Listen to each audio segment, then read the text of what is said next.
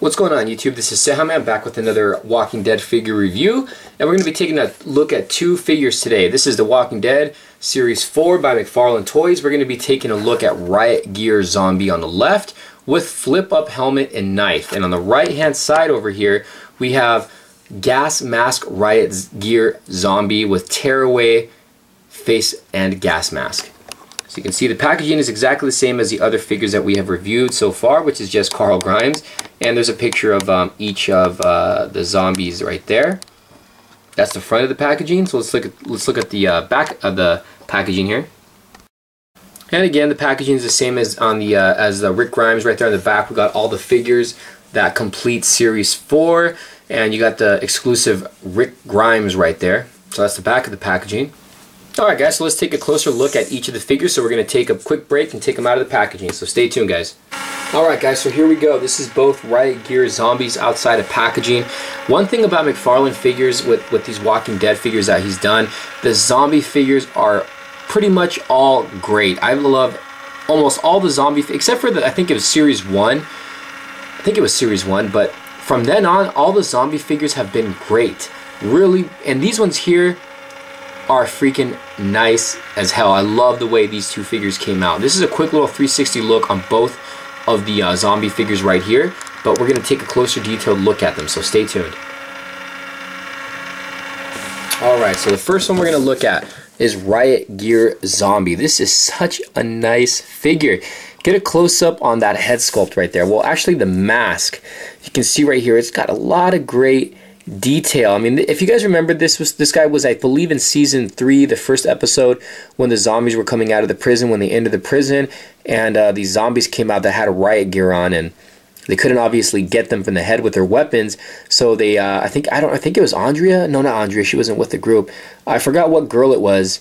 I think it was a girl. It might have been Beth. Not too sure, but somebody just shoved a knife right up up their uh, their like jaw area but if you look at the plastic shield part, you can see all the blood and detail that, that they put into there. It looks really, really nice. The helmet looks great. And uh, the shield part does flip up. So you can see right there, you can you can make out the zombie face, which just looks totally, totally gruesome. I think I zoomed in a little bit too much there. Focus. There you go. So you can see right there, he's got a lot of great detail in that face. Very cool. Now the knife is removable. You can take that right out and it's got a nice little detail going on there. It's not really a, a, a sharp object here. It is bendable, but he's got a little opening right there in the lower part of the jaw, and you just slide that sucker right in, and it looks, it looks to me, it looks really really cool. I love the way this came out. The head sculpt looks nice. That face looks just gruesome. Got a lot of gore in it. Very cool. You can make out the blue eyes too. It looks really really good and you can bring that shield down. It's really crazy, um, but you might be able to buy a few of these to make your own like riot gear uh, army builder right there.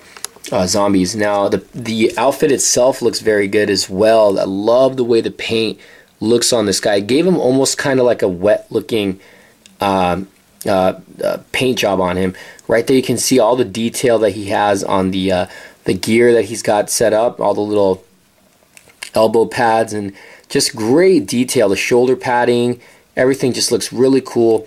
The gloves got a lot of detail. He's just got a lot of great detail going throughout um, the outfit. And here's a lower look at the body. The boots. This guy is just fully geared up. Bottom, he does have peg holes. So that's uh, this one here is the Riot Gear Zombie. Now, he doesn't come with any accessories other than that knife that you can remove and the head or the mask right there can flip up. Very, very cool figure right here. This one is just really, really nice.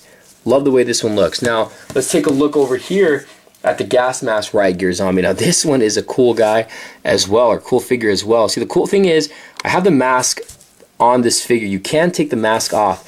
Now, the, the, the plastic part or the glass part right here, if you can see that, it's got a lot of little green stuff on there. Probably some, I don't know, ooze or something. And then you can see here's a little piece of the mask right here. Right there. Cool detail. You can see the uh, head sculpt. He's like rotting away. All the little flesh parts and all that. The mask, the little uh, eye, eye piece right here does come off. So you can see right there, you can see his eyes are pretty much just like gone, like rotted away. But the face mask does come off, so when you take this face mask off, it goes in pretty easy as well. Look at the inside of that. A lot of blood because his face is still on there. You can see that right there. The face is still in the mask. And you got the skull right there with all like the little flesh and stuff, which looks really cool. You can see he's got one eye. Very, very gruesome looking figures. I mean, look at the teeth. You can just see the skull under there. Very cool. And the outfit, like I said, he's got like this little like green ooze going throughout there. I don't know if it's like, could be vomit, blood. It could be a lot of things. Now, the uh, riot gear looks to be about the same as uh, bo as both of them. They look to, to have the same uh, outfit. God, they got, but they both have blood throughout the outfit. But it looks to be the same overall. Yeah, it looks to be the same exact outfit. Now, actually, the back is a little different on the padding. You can see that right there. I guess they have their slight differences, but both are great figures, guys. Now, I love the way the outfits are on these zombies. These these zombies are very, very cool. Probably one of my favorite zombies that we've gotten so far. Um, articulation is going to be the same on both figures. The head can go up and down. It can rotate.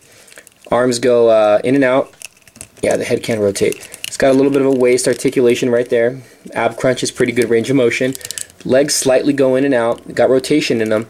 They don't really go forward and back. It's got a bend at the knee, lower leg rotation. The foot can go up and down. You rotate it side to side. You can also tilt it. Hands, I said, already go in and out, forward and back. Bend at the bicep, rotation in the arm. And the wrists can rotate, and they don't go in and out though. Now this guy's gonna have the same range of articulation, even though he has that knife there.